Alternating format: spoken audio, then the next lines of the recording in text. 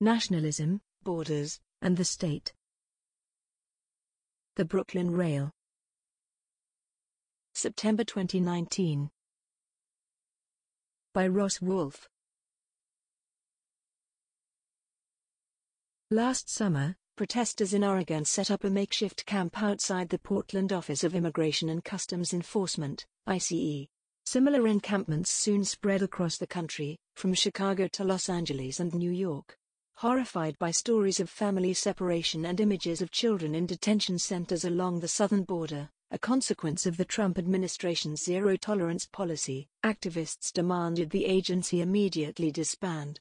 A few scattered Democratic lawmakers, Senators Elizabeth Warren and Kirsten Gillibrand, along with seven House representatives, took up the call to abolish ICE not long thereafter, to be joined by a crop of young progressives, Rashida Tlaib, Ilhan Omar, Alexandria Ocasio-Cortez, and Ayanna Pressley, elected to Congress in November 2018. Yet these politicians stop well short of advocating broader freedom of movement. While the Abolish ICE slogan is no doubt well-intentioned, it ought to raise a more fundamental question about the very existence of borders and their relation to the state. Despite her outspoken opposition to ICE, for example, Alexandria Ocasio-Cortez has repeatedly emphasized that this does not entail opposition to national security in the abstract. I do think we have to maintain a secure border, she told reporters following her primary win, to make sure people are in fact documented. One gets the sense Ocasio-Cortez would be more comfortable with some other agency answerable to the Justice Department, it is simply a matter of proper oversight. There is a definite disconnect, then, between left-wing activist types pushing for open borders and office-holding democratic socialists. Recently, an article by Angela Nagle caused quite a stir in leftist circles. Challenging the wisdom of calls for open borders among anti-ICE protesters, she proceeded to argue that this demand was out of sync with the historic socialist view. Karl Marx's position on immigration would get him banished from today's left, wrote Nagle in the pages of American Affairs, a prominent conservative journal. Part of the uproar doubtless stemmed from the venue, as well as the timing, coming as it did as the migrant caravan approached. The piece occasioned a flurry of responses across the online left, in which she was variously denounced as a crypto-fascist and even a Strasserite. Here it is probably germane to bring up that Nagle by then had been a lightning rod of debate for many months, following the release of her 2017 bestseller Kill All Normies. Some felt that her survey of the internet alt-right was too sympathetic to its subject matter, uncritically accepting right-wing talking points about political correctness. Nagle was a wolf in sheep's clothing, they argued, a vicious reactionary posing as a leftist. For longtime detractors, her later left case against open borders just confirmed what they had been saying all along. Pavlos Roufos's critical reflection on the backlash against Nagle's book, which appeared in the Rail before the piece on borders came out, proved especially prescient. Users of the Libcom, Libertarian Communist, website had missed the mark by focusing on her more insensitive remarks, when the real problem was her reformism. Quote In the absence of collective struggles, the tendency towards cutthroat competition includes locking out competitors from the labor market. This process can take either national forms, anti-migrant, or local ones, misogyny and racism, if not both at once but placing one's hopes for overcoming such structural pressures on a form of welfare redistribution which depends on closed borders and an unshakable belief in national economic growth identical with capitalist prosperity seems, if nothing else, naive beyond recall. Of course, identity politics has amply demonstrated that it remains forever trapped within a particularism by definition hostile to producing common ground between struggles. However, the sham universalism the social democratic left promotes as an antidote to this particularism is still unjustifiably indifferent to its own shortcomings and historical trajectory. End quote. Roufos alone anticipated the conservative turn in Nagle's thought toward closed borders, none of her other critics came close to making such a prediction. Contrary to those critics, this shift was not due to Nagle being some sort of surreptitious Nazbol, national Bolshevism. Quite the opposite, on this particular issue she is a consistent social democrat. What most failed to notice is that such narrowness is located well within the horizon of social democracy in one country, Notwithstanding the platform where it was first published, or the interview she subsequently gave on Tucker Carlson Tonight, her reasoning in the piece on borders is indistinguishable from that of Bernie Sanders. The same goes for analogous left-wing figures like Jeremy Corbyn in Britain and Sahra Wagenknecht in Germany. Despite their almost identical outlook, these politicians have received little to no scrutiny from leftist media. Likewise Syriza in Greece, which got a pass from the U.S. social democratic magazine Jacobin after forming a parliamentary bloc with an anti-migrant party in 2015. Generally speaking, very few have asked why socialist reformers would bother to defend border controls. An answer may be sought in their economic nationalist worldview. Jamie Merchant, writing in this magazine, defines left economic nationalism as the idea of subordinating financial institutions to the national state by withdrawing or sheltering them from the world market.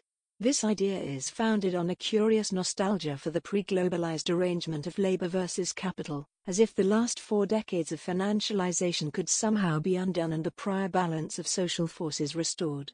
Merchant identifies such fantasies of secession as a major ideological component of democratic socialist political strategies over the last few decades. One can see this fantastic logic at work in reformists' own stated reasons for their stance on immigration. Ezra Klein inadvertently hit upon the issue during his conversation with Sanders for Vox in the run-up to the 2016 primaries. Klein assumed the Vermont senator would be on board with open borders. Open borders? Sanders incredulously shot back. That's a right-wing, Koch brothers proposal, which says there is no United States. You'd be doing away with the concept of a nation-state. If you believe in a nation-state, that there's some country called the United States, or the UK, or Denmark, or any other, you have an obligation, in my view, to do everything you can to help poor people. Right-wing, business people, here would love an open border policy that would bring in all kinds of people willing to work for only two or three dollars per hour. Making life better for migrant workers would thus come at the expense of making everybody in America poorer, in Sanders's view. Corbyn, his counterpart across the pond, evidently concurred with this view. Asked what a jobs-first Brexit would look like, in terms of free movement, the Labour leader replied, what there wouldn't be is wholesale importation of underpaid workers from Central Europe in order to destroy working conditions, particularly in the construction industry. Hence the campaign slogan to build it in Britain, with its complaints about international capital and cheap foreign labour. It would be too much to equate this with the recycling of the old fascist slogan of British jobs for British workers by Gordon Brown, Corbyn's predecessor, but it is not far off.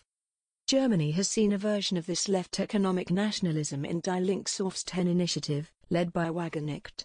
Looking to win back voters from Alternative für Deutschland, an openly xenophobic party, she has pushed for a more restrictive border policy.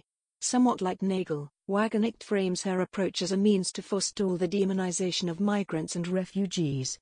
On the labor market, competition in the low-wage sector is growing, she told Bhaskar Sunkara in 2018. Refugees are used to exert downward pressure on wages, which in turn fuels anti-refugee sentiment. But her solution to the refugee crisis is to grant concessions to the right, dismissing open borders and hospitality culture, Willkommens culture, as unrealistic like irreal. Chauvinistic outbursts of this sort can also be heard from progressive quarters in France. Jean-Luc Mélenchon, the left populist firebrand who placed third in the 2017 French presidential election, is on record as opposing mass migration.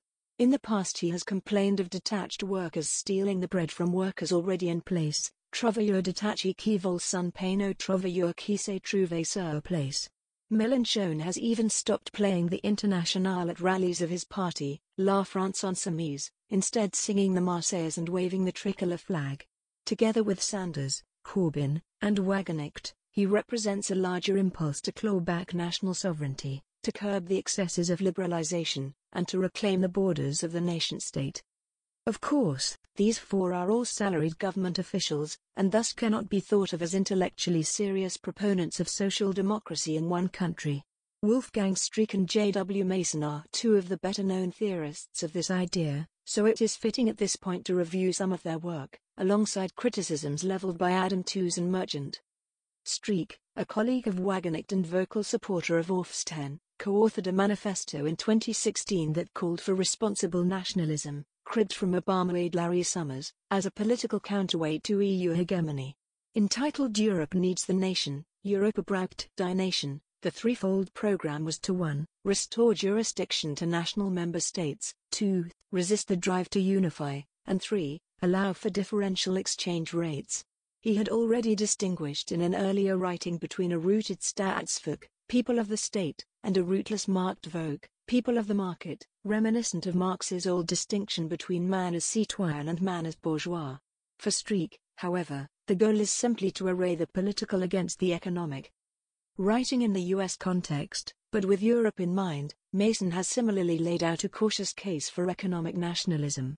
Partly inspired by Streeck, he argues that sovereign power may be wielded against the force of the market. As long as democratic politics operates through nation-states, Mason suggests, it is likely any left program will require some degree of delinking from the global economy. It is significant that he uses delinking, a strategy originally devised by Maoists for industrializing regimes in the Third World, in advancing a quasi-Keynesian agenda for industrialized governments in the First World. Quoting Keynes's brilliant 1933 essay on national self-sufficiency, Mason proposes that we can have a try at working out our own salvation. How did Streeck turn critical theory into a vehicle for the assertion of the primacy of the nation? Tooze wonders aloud. Contra Streeck, Tooze is skeptical that a move back to the national level could enable democratic control of the economy and questions the strategic timing. Unlike Streeck, Mason contends that his position is adamantly pro-migrant. Left economic nationalism will only close borders to capital, and not to labor. Jamie Merchant brings up reasons to doubt that one is possible without the other. He takes aim at Sweden and Denmark, those most cherished of examples touted by U.S. Social Democrats, writing that Quote,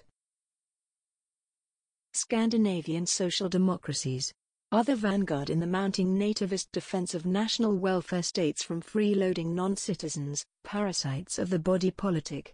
Even if it dresses itself in a left-wing garb, emphasizing national citizenship pushes in the direction of welfare chauvinism, jealously protecting public property from undeserving outsiders. End quote. Given the widespread glamorization of the Nordic model among Jacobin columnists, Merchant's insight cuts straight to the bone. Already in these countries the generous benefits provided by the state are being used as a cudgel against refugees and migrants, who are depicted as leeches on a system built by generations of hard-working Danes or Swedes. Sweden in the 1970s was the best society we have ever seen, Sunkara recently stated. But it is misleading to portray 70s Sweden as a self-enclosed society. It was a national compromise between capital and labor within the context of global capitalist society, and an unsustainable compromise at that. Mette Frederiksen, the anti-immigrant social democrat who recently won the Danish elections, provides further proof of this fact. Historic origins of the modern territorial state to get a better handle on the role played by borders in shaping the modern world, a closer look at their historic origins is in order. Borders are not a natural feature of the world. Neither their present configuration nor the raw fact of their existence can be taken for granted. Just as they arose historically, the byproduct of particular social conditions, so too might they pass away historically, once these conditions are removed. Scholars have often stressed that not every people has thought it useful or important to establish clear-cut borders, adding there are alternative concepts for claiming shares of global space and seeking territorial stability without fixed frontiers. Furthermore, one might suggest that there is an alternative to claiming shares of global space or seeking territorial stability altogether. Perhaps the characteristic procedure of Marxian analysis is to historicize a phenomenon, getting rid of any semblance of naturalism. This renders obvious the time-bound quality of the prevailing reality. Karl Schlögel, the renowned German Sovietologist and theoretician of space, follows this path in noting that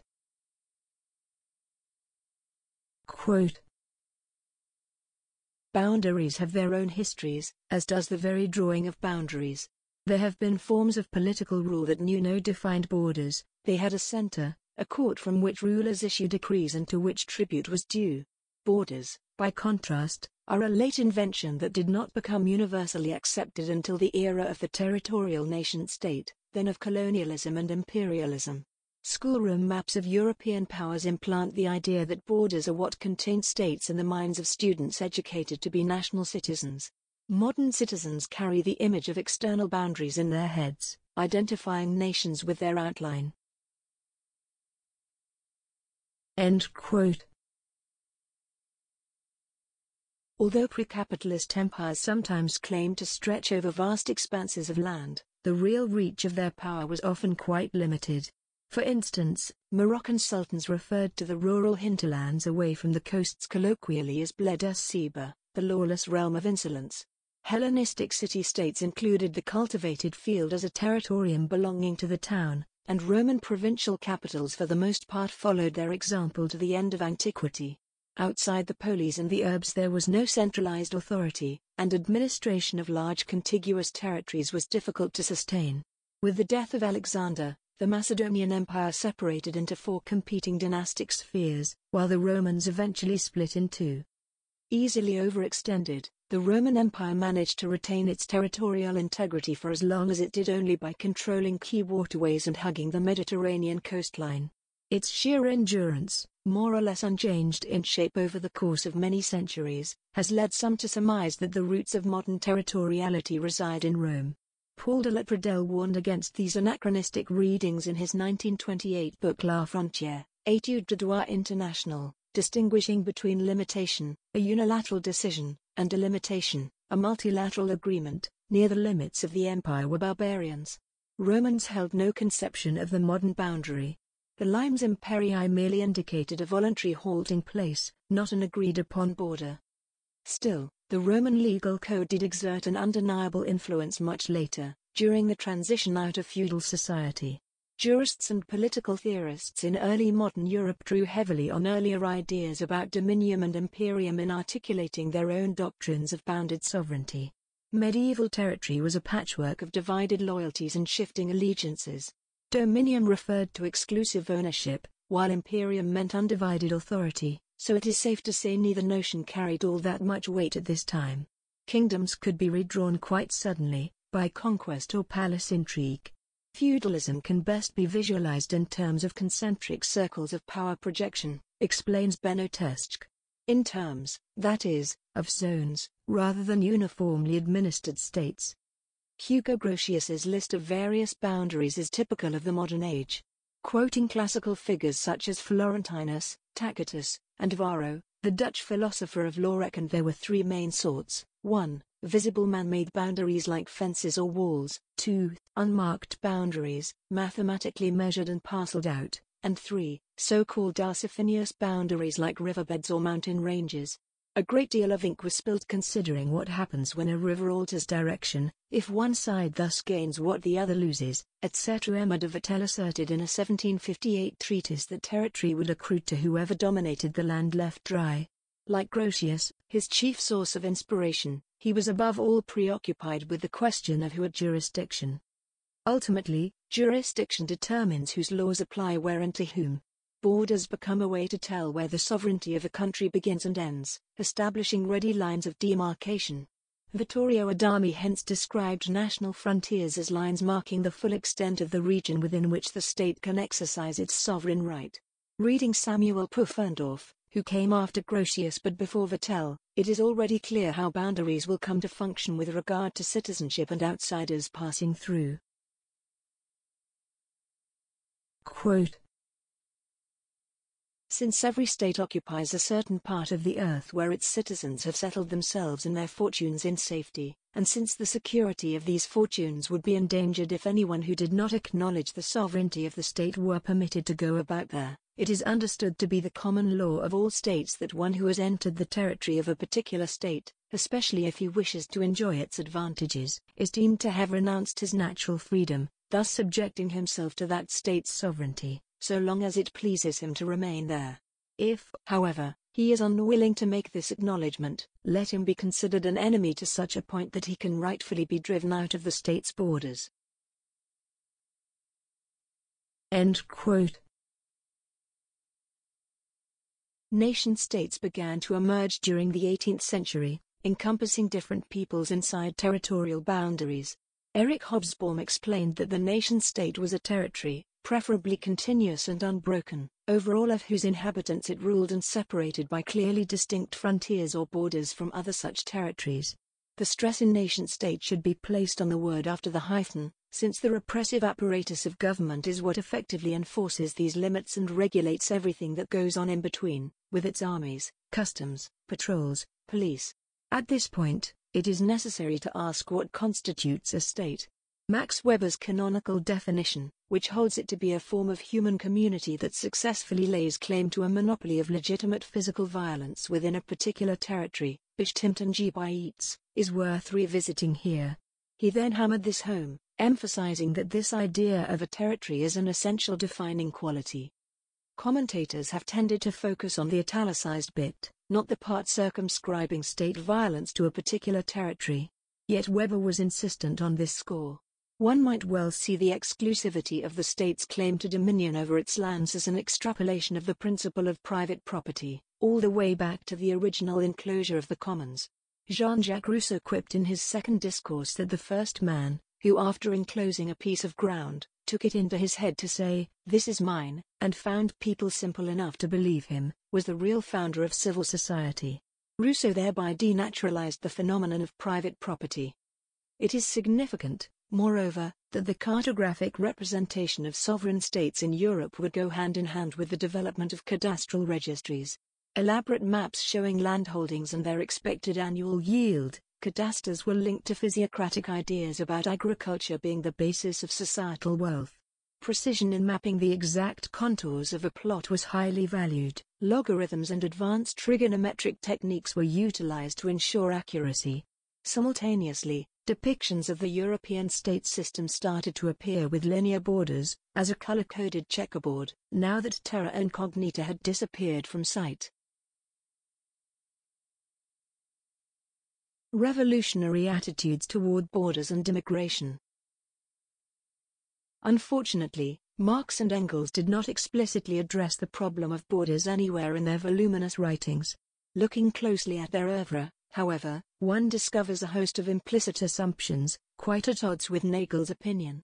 From their declaration that the working class has no country early on in the manifesto, to the rallying cry at the end of that document, Workers of the World, Unite, they affirmed the international scope of proletarian revolution, national differences and antagonisms are daily vanishing more and more, thanks to the bourgeoisie, freedom of commerce, and the world market, but the supremacy of the proletariat will only lead them to vanish even faster.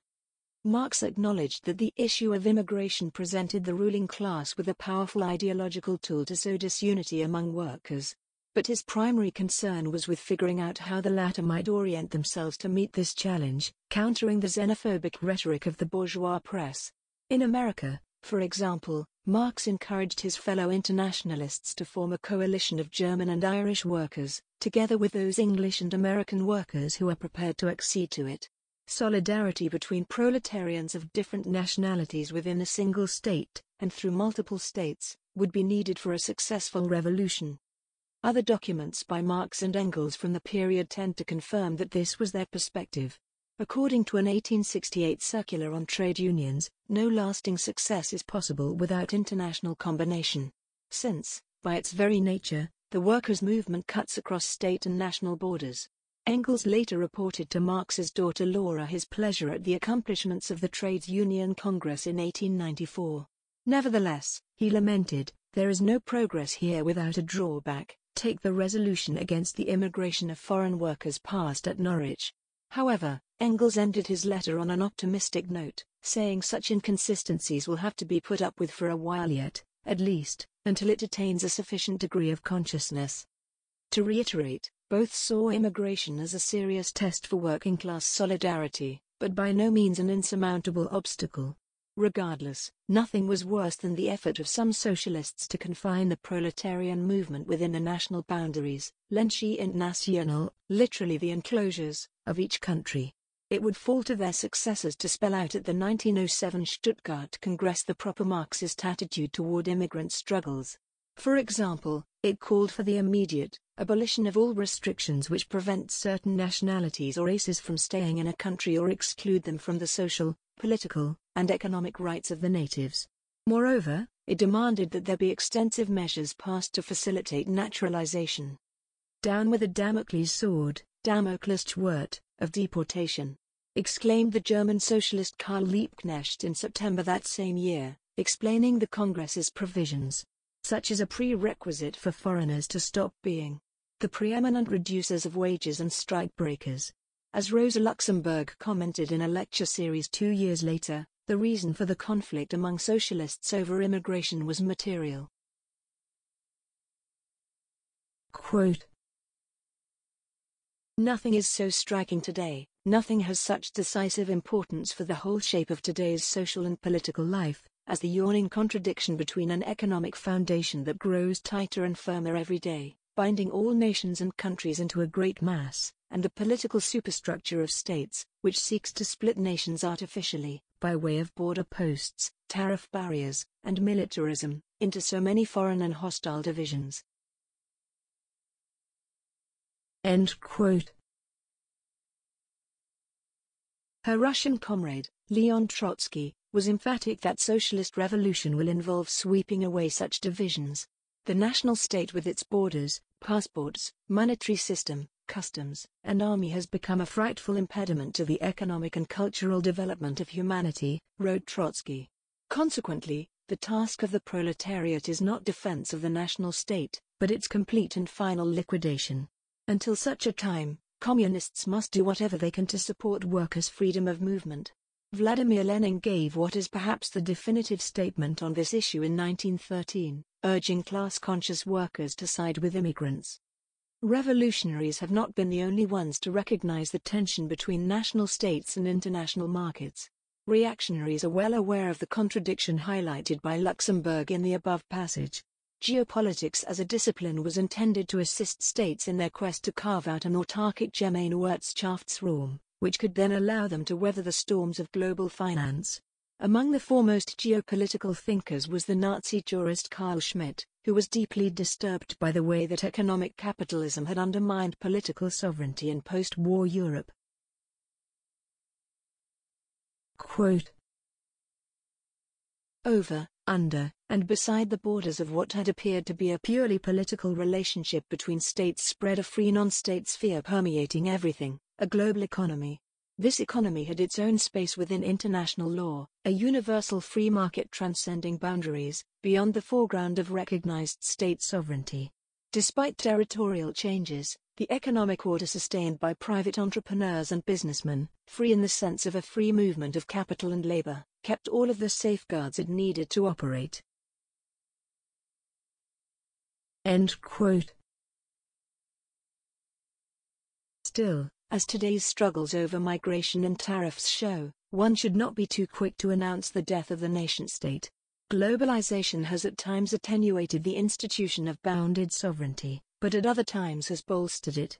Autonomists have been over-hasty in heralding the obsolescence of this form of political rule.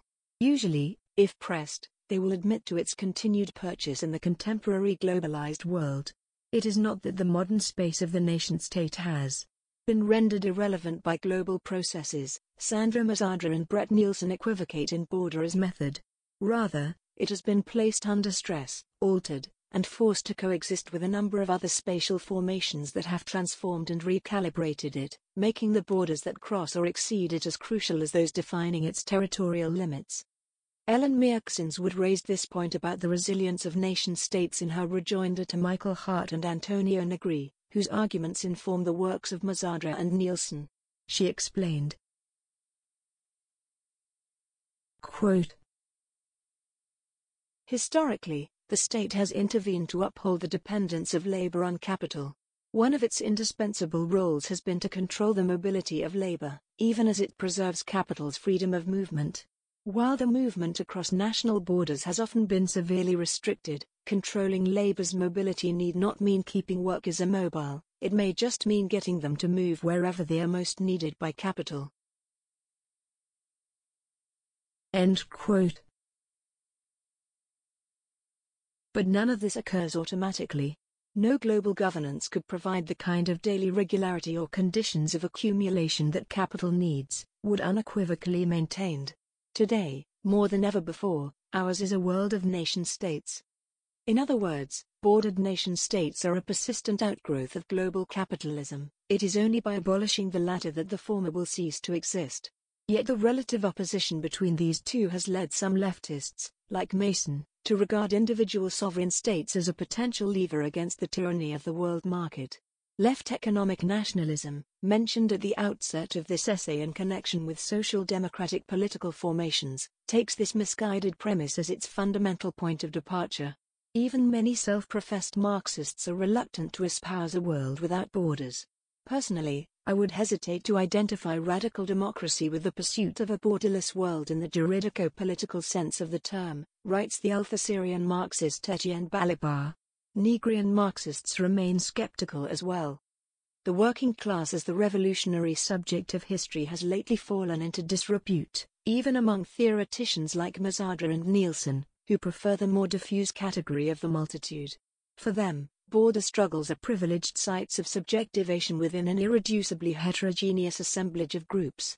Resolving the current immigration crisis being felt in countries around the world requires a global vision, however, because the standoff between labor and capital knows no bounds. Capital drives beyond every spatial barrier, Marx long ago pointed out, national or otherwise. Capitalists invest wherever higher profits seem attainable. The counterpart of capital, wage labor, is likewise compelled to push past national constraints, as workers seek employment wherever capital offers it. Uneven development is a product of the ongoing dynamic of capitalist growth, leading to chronic imbalances both in terms of capital concentration and labor organization and pushing people across borders in search of a better life. In addition, different parts of the world are more vulnerable to natural or man-made disasters than others, owing to infrastructural as well as geographic accidents. General Motors might shut down plants in Canada and the US and open auto factories in Mexico, but its exploitative relationship toward employees is a constant. This is, of course, accepted as ineluctable background by the social democratic idea of protecting native workers against the low-wage competition of foreigners. Defense of higher wages for one group of workers here assumes the inevitability of wage labor as the dominant mode of labor. In any case, policies enacted in any given state, whether tariffs or immigration controls, will inevitably spill over into the territories of its neighbors. This is why there can be no national solution to what is at bottom an international problem. Proletarians are artificially cordoned off from one another by the nation state, despite the fact that the ultimate source of their exploitation is the same in all countries. When they relocate, capital is waiting for them at the end of the road, ready to wring surplus out of their labor. If their problems as workers subordinate to capital are to be solved, this must be accomplished without respect for borders and nationalities. In the United States, for instance, as in almost all countries, the truth is that even a national workforce cannot be understood without figuring in undocumented and documented workers from other places. As Viewpoint put this, sociologically, the American working class is not confined to the citizenry or geographical space of the United States, and so the politics of the unbound proletariat necessarily exceeds these spaces too. Some of the best treatments of this issue have been supplied by small groups. Quote In creating a global economy, capitalism has created the framework for a worldwide human association. Yet its total inability to realize this promise is illustrated today by the universal fortification of its frontiers. Calls for no borders by well-meaning activist groups are thus entirely utopian, since borders can only be abolished through an international proletarian dictatorship. World revolution alone will dismantle the anti-human prison of the modern nation-state. End quote. Reformist parties and politicians by contrast offer no solution to the migrant crisis, only palliatives, because they still think in terms of the peaceful takeover of pre-existing bourgeois states. This is not a moral failing, but a structural facet of their politics. Hemmed in by national boundaries, it is impossible for them to pass legislation with wider efficacy.